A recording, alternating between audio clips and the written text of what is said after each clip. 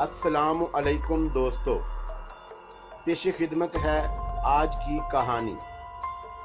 कहानी में आगे बढ़ने से पहले मेरी नए आने वाले दोस्तों से अपील है कि हमारे चैनल को सब्सक्राइब करें और बेल के आइकॉन को दबाकर आल नोटिफिकेशन ऑन कर दें, ताकि हर आने वाली नई वीडियो का नोटिफिकेशन आपको बर वक्त मिल सके। तारीकी और गुनाह के अजीम देवता, खून से अपनी प्यास बुझा और हमें उन बंद कमरों में ले चल, जहाँ हम गंदी और नफरत अंगेज बदकारियों में मशगूल हो सकें। मैरी, गुनाह के देवता की सबसे बड़ी कहना, सामने स्टेज पर बरहना खड़ी हेजानी अंदाज में चीख रही थी। उसके बरहना जिस्म से तांबे जैसी शुआओं का इनकास हो रहा था। गरान जद में देवता वोडो को पुकारा जा रहा था। साथ साथ मैरी अपने जिस्म के पीछो खम को उजागर कर रही थी। अशार फहशतर गैर मुहजब खौफनाक और गलीद होते गए। चाँद ही लम्हे पहले उसने अपने खाली हाथों से एक सफ़ेद मुर्गी की कुर्बानी की थी, जिसके खून से उसका पुरुष बाब सीना सुर्ख हो रहा था। इस ज़मीन दोज हाल नुमा कमरे में चारों तरफ़ नीम तारीकी फैली हुई थी। उसकी फिजाओं में देवता वोडू के परस्तारों की शिद्दत जज्बात में डूबी हुई कराहें गूंज रही थी।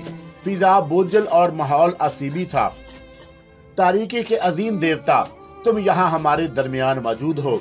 मैरी की है जान, है जानी चीख तेज तर होती गई। तुम हमारे दरमियान हो। तुम मुझे कबूल कर रहे हो। मैं तुम्हारी हूँ। कमरे में शायद कोई दाखिल हुआ था, कोई गैर हस्ती। शायद वो साया जो मैरी के जिस्म पर पड़ा हुआ था, जिसने मैरी का हसीनो जमील चेहरा, हवस और नफसानी खवाश के दबाव से सुर्ख हो रहा था। मेरे जहन ने महसूस किया कि वोडू देवता इस वक्त अकीदतमंदों के दरमियान मौजूद है। वो अपने मानने वालों को ज़बरदस्ती या बेरिजामंदी जैसे भी हो, जमान और मकान की कैद से आज़ाद कराकर जहन्नम के दरवाजे तक ले जाएगा। अचानक वो खला ज़ाहिर हुआ था, जिसके अंदर झांकने पर सवाई तारीकी के कोई शय नज़र नहीं आती थी। नीचे सीता का नामो निशान भी ना था। चंद लम्हे बेशतर वो जहाँ, जगह जहाँ अब खला थी, एक ठोस पथरीली सीता थी, फिर अचानक खिला नमूदार हुआ। मैंने अपना एक पाँव उसके अंदर रखा था, और फिर उस खला के अंदर मैं मुअल्लक था। फिर मैरी ने मेरे अपने खाली हाथों से उस सफ़ेद मुर्ग की कुर्बानी की। उसके खून से अपने जिस्म को तर किया था और मुर्दा मुर्ग को उसी खिला में गिरा दिया था। मैं उसे खिला में गिरता हुआ देख रहा था। वो गिर रहा था तेज़ी से नीचे की जानब।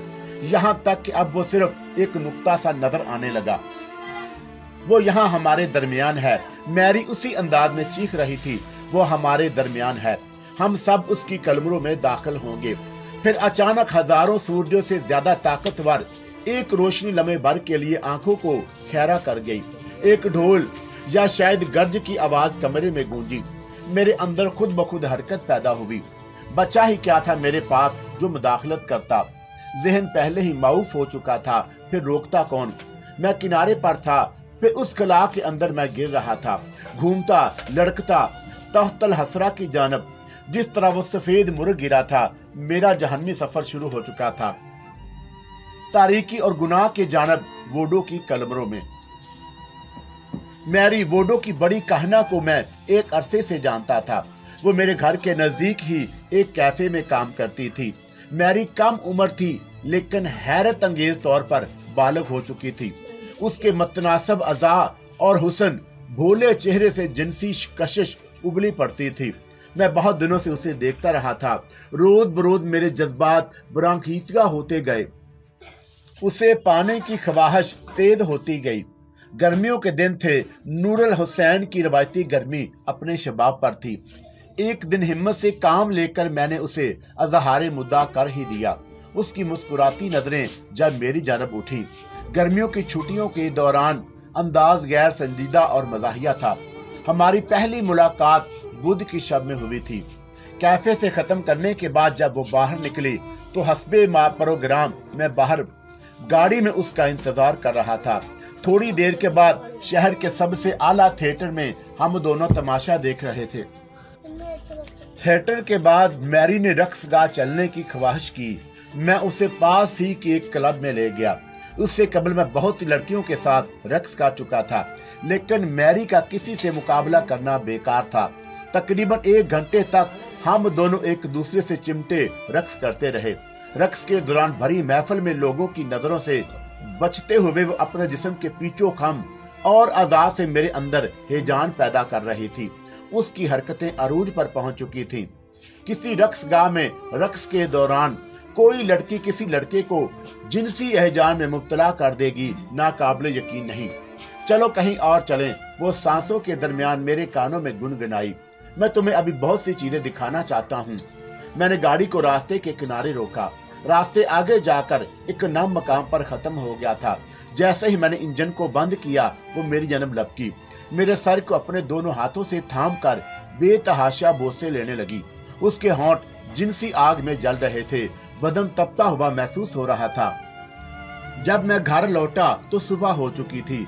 ये हमारी पहली मुलाकात में जिसमें सारी मंजिलें तय हो गई थी। जुदा होते वक्त एक अजीब बात हुई। दूसरी मुलाकात के लिए मैंने जुमा की शब मुकर की, लेकिन उसका असर जो मैरी पर हुआ, वो हैरत अंगेज था। नहीं, लहजे में सख्ती थी। मैं जुमा को तुमसे कभी नहीं मिलूँगी। लहजा बड़ा अजीबो गरीब था। मैं जुमा की शब किसी से भी नहीं मिलूँगी। आखिर जुमा के अलावा हफ़्ते में छह दिन और भी हैं। मैंने उस पर कोई ध्यान ही नहीं दिया। दिन गुजरते गए और हम एक दूसरे से मिलते रहे। और हर मुलाकात अपनी नोयत के लिहाज से पहली मुलाकात की बेनिस्बत शदीद तर और हैजान खेज साबित हुई। इन मुलाकातों के दौरान कभी कभी मैरी अजीबो गरीब बातें किया करती। कभी पूछती, क्या मैं गैर मरी ताकतों का कायल हूँ? क्या मैं असीबों और रूह में यकीन रखता हूँ? क्या मुझे जादू के बारे में कुछ जानने की ख्वाहिश है? वगैरह वगैरह। और मैं इन बातों को हैरानगी से सुना करता और टालने के लिए कह देता। यकीनन, हालाँकि इन चीज़ों के बारे में सोचने पर मैं अचंभे में पड़ जाता। मेरा ख्याल है कि तुम मौजू रहेंगे। वो एक दिन, वो मेरी आगोश में मचली। हमें हमें नए खून की ज़रूरत है, जवान खून की। बात मेरी समझ में नहीं आई। मैं, मैंने मतलब पूछा। वो जवाब में बोली, वक्त आने पर तुम्हें सब कुछ मालूम हो जाएगा। इस मुक्त सिर से जवाब से ज़्यादा मैं कुछ भी नहीं मालूम कर सका। एक शब्द जुदा होते वक्त उसने दूसरी मुलाकात के लिए जुमा की शब मुकर्र की। मैंने हैरत और ताज्जुब से पूछा और वो जवाब में बोली ये मुलाकात और मुलाकातों से मुख्तलिफ़ है। वो बात साफ़ करती हुई बोली, मैंने अपने कुछ और दोस्तों को भी मदू किया है। ये महफिल मैं अपने दोस्तों के लिए कर रही हूँ। हालाँकि जवाब एक मुआमा था, लेकिन मैंने कोई परवाह नहीं की। मेरी सबसे बड़ी कमज़ोरी इस वक्त मैरी थी। मेरे बिस्तर की हसीनो जमील साथी, मैं उसके लिए कहीं भी जाने को तैयार था। और जो कुछ भी करने के लिए मुस्तैद प्रोग्राम के मुताबिक जुमा की शब मैंने मैरी को कैफ़े से साथ लिया। किसी नजदीकी रेस्तोरां में उसने गाड़ी रोकने की दरख्वास्त की। रास्ते के किनारे करीब ही एक रेस्तोरां में मैंने गाड़ी रोकी। मेरे अंदर से दो का खरीद लाई। मेरे हिस्से की मशरूब को उसने एक पेपर कप में उडेल कर मुझे दिया। आज की शब मैं तुम्हारे नाम का जाम पीऊँगी, वो मुस्कुराई। जाम टकराए और मैं पी गया। मैरी ने एक पता बताते हुए मुझे चलने को कहा। पता नदी के किनारे, डक के नज़दीक एक मकान का था। मैंने अपनी गाड़ी को शहर के मरकजी हिस्से की जानब मोड़ दिया। मैं अभी आठ या दस ब्लाक आगे गया हूँ कि मुझे चक्कर आने लगे। मुझे महसूस होने लगा जैसे कोई ताकत आहिस्ता आहिस्ता मुझे अपनी गिरफ्त में ले रही है। शायद उसने मशरूब में कोई दवा मिला दी थी। मैंने उसे ऐसा करते नहीं देखा था और शायद देखता भी तो एहतजाज नहीं कर सकता था। आहिस्ता आहिस्ता मेरा जहन कहीं और भटकने लगा। मैं गाड़ी में स्टेयरिंग के पीछे बैठा ड्राइवर कर रहा था। जिसम गाड़ी में मौजूद था, लेकिन जहन कहीं और खिलाओ में भटकने लगा। दो एक लम्हे तक तो मैंने इस एहसास पर काबू पाने की कोशिश की, लेकिन बेसूद अजीब कफियत थी मेरी। मैं अपने आप को खुश खुश महसूस कर रहा था। हर चीज़ से बेनियाज था। जो काम भी कर रहा था, उसमें मेरे इरादे को कोई दखल नहीं था। खुद ब खुद जहाँ गाड़ी रोकती थी, रोक देता।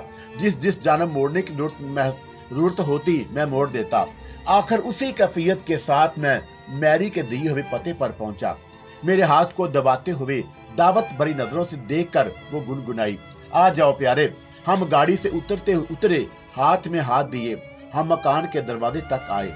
अगर मेरी जहनी तौर पर भी दुरुस्त होती तो मैं कभी उस मकान में दाखिल ना होता। मकान खस्ता हाल और असीबी मालूम हो रहा था। फिजा सुनी सुनी और अफसरदा थी। माहौल तारीख और गंदा था। कोई ऐसी ताकत थी जो इस मकान में दाखिल होने में मजाहमत कर रही थी। लेकिन मैं उसके बरखिलाफ अपने जहनी धुंधल धुंधलके में आगे की जानब बढ़ता गया। खुशी खुशी आस पास की हर चीज़ मुझे कुदरती और हसबे मामूल नज़र आई। मुझे ऐसा महसूस होने लगा जैसे मैं पहले भी उस राह से गुजर चुका हूँ। मैरी ने दरवाज़ा खटखराया दरवाज़ा खोलने वाला एक भारी बरकम निगरू था। हम दोनों अंदर दाखिल हुए और मकान के बिछवाड़े बने एक जीने तक पहुँचे, जो नीचे की जानब चला गया था।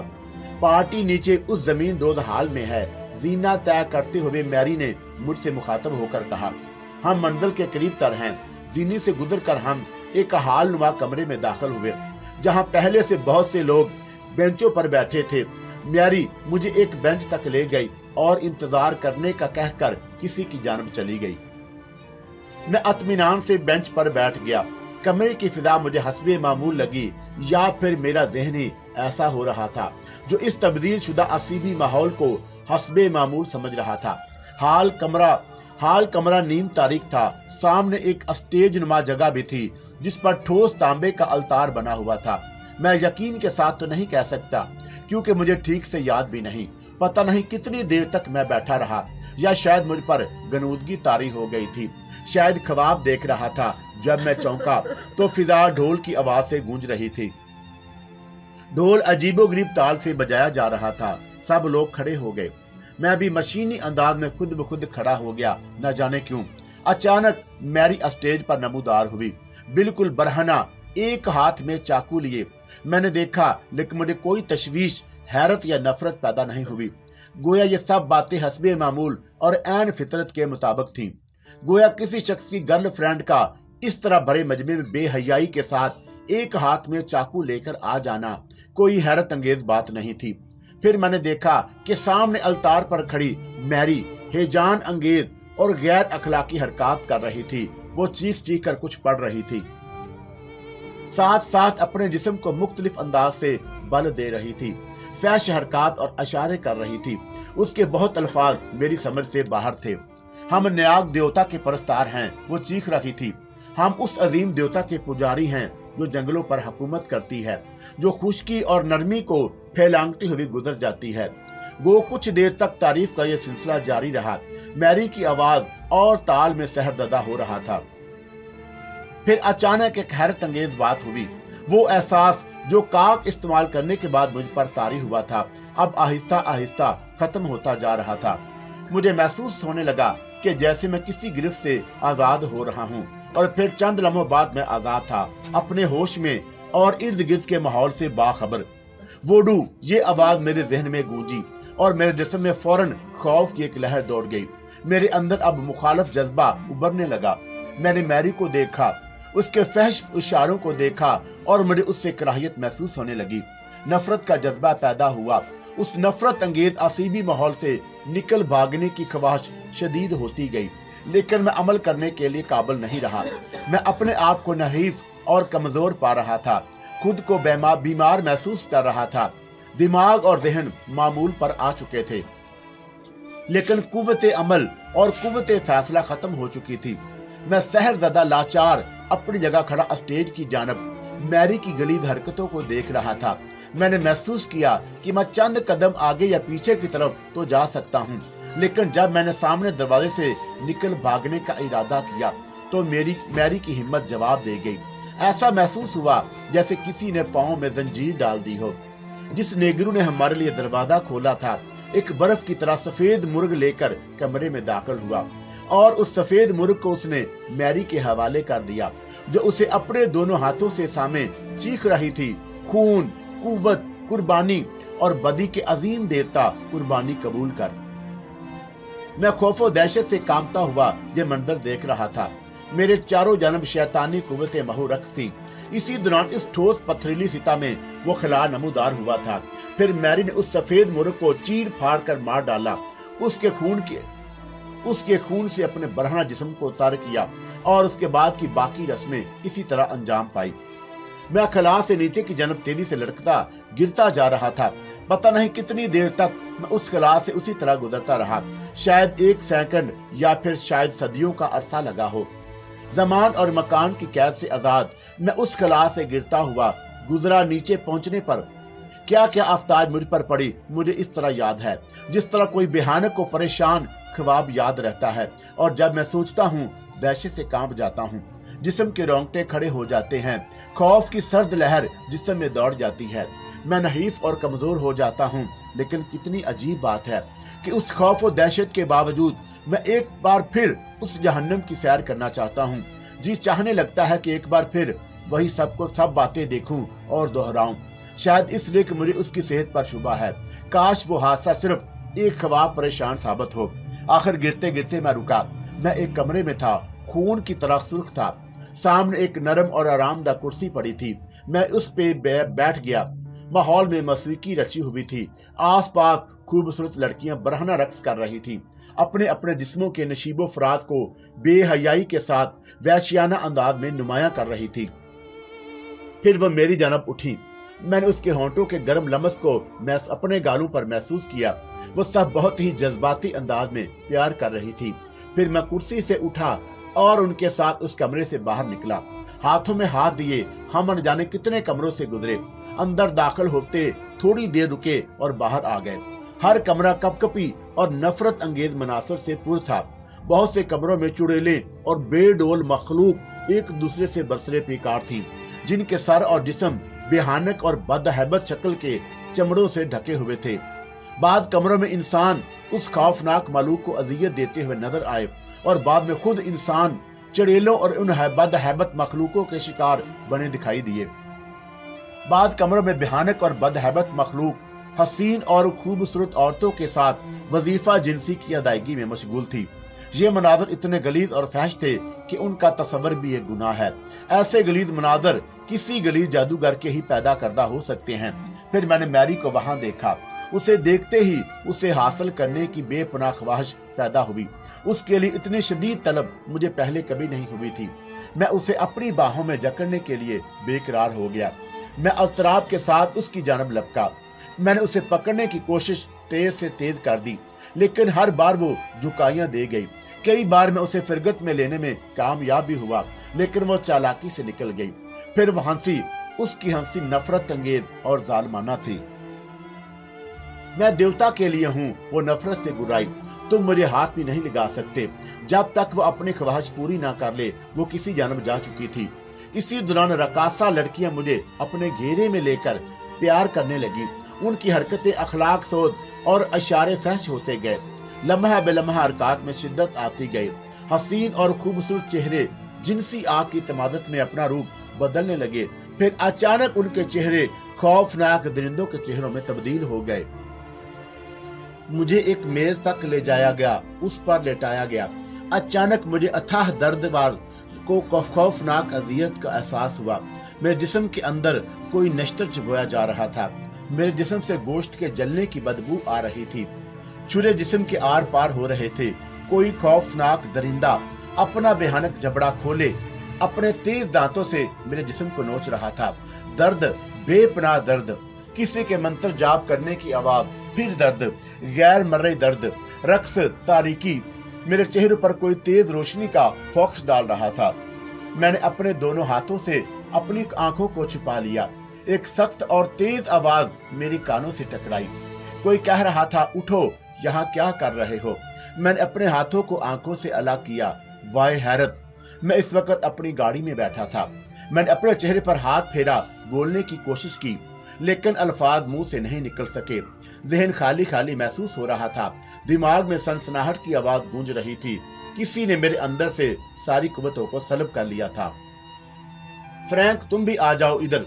इस नौजवान ने या तो काफ़ी मकदार में शराब पी रखी है, या फिर कोई दूसरी नशा आवर शाय इस्तेमाल की है। उस आवाज़ ने तारीकी में किसी को मुखातब किया और फिर बोला, शायद हम दोनों को ही उसे संभालना पड़ेगा। मुमकिन है इसके पास कोई चाकू या पस्तौल हो। ठहरिए, एक मिनट ठहरिए। आखिर बेमुश्किल ये अल्फाज मेरी ज़ुबान से अदा हुए। वो दोनों पुलिस के आदमी थे। उन्होंने मुझे गाड़ी से बाहर खींचा। मेरी तलाशी ली। टार्च की मदद से मेरी आँखों की पुतलियों का मुआयना किया। कीड़े मुँह को सूँगा फिर उनमें से एक हैरत से बोला, अल अजब, सुमल अज अजब। ये नौजवान तो बिल्कुल साफ़ सुथरा मालूम होता है। शायद किसी दौरे में मुबतला हो गया हो। खुदा की पनाह मालूम होता है कि दर्जनों बार किसी ज़बरदस्त मजमे के पैरों तले कुचला गया है। मैं एक पार्टी में था, मेरी आवाज़ लड़खड़ा रही थी। तजर्बेकार पुलिस ने मुझे घर ले जाने पर ज़ोर दिया और जैसे ही उसने गाड़ी घुमाई, मैंने देखा कि गाड़ी उस जगह रास्ते के किनारे खड़ी थी, जहाँ मैंने मैरी से पहली मुलाकात के शब्द खड़ी की थी। न्योर आर्लियन वापस होते वक्त मुझ पर गनूदगी तारी हो गई। मेरे अंदर कमज़ोरी इंतहा को पहुँच चुकी थी। पूरा जिस्म धुला हुआ महसूस हो रहा था। रास्ते में पुलिस वालों ने अपना ख्याल बदल दिया और मेरे अस्पताल ले गए। जहाँ डॉक्टरों ने मेरा मुआयना किया और हैरत जदा रह गए। मुआयने के बाद शराब या किसी नदा आवर अशा के इस्तेमाल करने का कोई नामो निशान नहीं मिला। मेरे जिस्म से सारा खून निकल चुका था। डॉक्टरों ने मुआयने के दौरान जिसम में कोई निशान देखने की कोशिश की, लेकिन बेसूद अगर थोड़ा खून और निकल जाता तो मौत यकीनी थी, एक डॉक्टर ने कहा। फ़ौरन मेरे वालदेन को खबर की गई। डॉक्टर मेरी हालत समझने से कासर थे। फ़ौरन मेडिसिन के अंदर काफ़ी खून दाखिल किया गया। उसके बाद एक माह तक मुझे खून पैदा करने वाली गजाओं पर अस्पताल में रखा गया। डॉक्टर रोज़ाना मेरा मुआयना करते, मुझसे बार बार सवाल पूछते, आपस में बहसो मबासा करते, फिर भी वो किसी नतीजे पर नहीं पहुँच सके। मैं मेडिकल जनरल में इस गैस पर एक तफसीली मजमून लिखूँगा। एक दिन एक डॉक्टर ने अपने साथी डॉक्टर से कहा, मैं अपनी कहानी पर कायम था। मैंने बयान दिया कि एक लड़की से एक क्लब में मेरी दोस्ती हो गई थी और उसी के साथ मैं एक पार्टी में गया। लेकिन वहाँ पहुँचने से कबल मैं बेहोश हो चुका था। फिर मुझे कुछ मालूम नहीं। आखिर डॉक्टर थक हार कर खामोश हुआ। मैं भी अब सेहत याब हो चुका था। मुझे घर आने की इजाज़त देते हुए डॉक्टर ने कहा, मेडिकल तारीख में तुम्हारा केस हमेशा पुर इसरा नोयत का हामिल रहेगा। अस्पताल से आने के बाद पहली फुर्सत में कैफ़े गया और मैरी के बारे में मालूम किया। लेकिन मैरी की जगह अब एक नई लड़की काम कर रही थी। हफ्तों कबल वो काम कर चुकी थी। वो कहाँ गई? मुझे कोई खबर नहीं। और न उसके बाद दोबारा उससे मुलाकात ही हुई। मैनेजर ने बताया कि मैरी खानदान जिस मकान में रहता था, वो भी खाली मिला। पूछने पर उसने बताया कि मैरी और उसके खानदान के लोग एक माह कबल जा चुके हैं। कहा ये नहीं मालूम। नदी के किनारे वो असीबी मकान भी खाली मिला। मैंने उस वाक्य को एक ख्वाब परेशान समझकर भुला देने की कोशिश की, लेकिन बेसूद इस दौरान मैं नाग देवता वोडू पर लिखी हुई किताबों का मुताला करता रहा। अब मुझे इलम था कि मेरे जिस्म से खून कहाँ गया था। आखिरकार मुझे इस मौजू पर एक ऐसी किताब मिली, जिसको पढ़ने के बाद मेरी रातों की नींद हराम हो गई। वोडू के पुरस्कारों के अकीदे के मुताबिक गर्दान दुम्बी या नाग देवता वोडू ताज़ा खून का प्यासा होता है। उस किताब में एक जगह लिखा था, वोडू पूजा के दौरान अक्सर बदी की देवी को परिंदों और जानवरों की कुर्बानी पेश की जाती है। उस कुर्बानी के खून से कुछ देर के लिए वोडू देवता को मुतमिन किया जाता है, लेकिन उसे इंसानी खून की भी तलब होती है और जब उसकी प्यास बढ़ जाती है तो एक नौजवान मर्द या औरत को चुना जाता है और उसके अंदर से काफ़ी मिकदार में खून निकाल लिया जाता है। खून निकालने का ये काम काफ़ी एहतियात से किया जाता है, ताकि मामूल मरने ना पाए। वोडू के पुरस्कारों का दावा है कि नाग देवता एक बार जिसका खून पी लेता है, वो हमेशा के लिए गर्दाने दुबी का गुलाम बन जाता है। जू जू मैं आगे बढ़ता गया, खौफ, दहशत से मेरे रोंगटे खड़े होते गए। आगे लिखा था कि नाग देवता फ़ौरन ही अपने गुलाम को कब्जे में नहीं कर लेता, बल्कि वो महीनों और बरसों इंतज़ार करता रहता है। फिर वो किसी मादी शक्ल में ज़मीन पर ज़ाहिर होता है, ताकि अपने गुलाम को, जिसका उसने खून पिया था, अपने साथ ले जा सके। मैं हमेशा खौफ ज़्यादा रहता हूँ। रात की तारीकी से मुझे खौफ मालूम होता है। तारीख कोनों में जाने से मेरी रूह को लर्ज जाती है। रात को मामूली मामूली आवाजों पर चौंक पड़ता हूँ। खौफनाक तूफ़ान हो या बिजली की कड़क मुझे सहमाए रहते हैं। तारीकी में किसी मुतहरक साय को देख कर दहशत की सर्द लहर मेरे जिसम में दौड़ जाती है, क्योंकि मुझे इलम है कि वो किसी दिन आएगा। अचानक तारीख खिला नमोदार होगा और अपनी चीज़ अपने साथ ले जाएगा।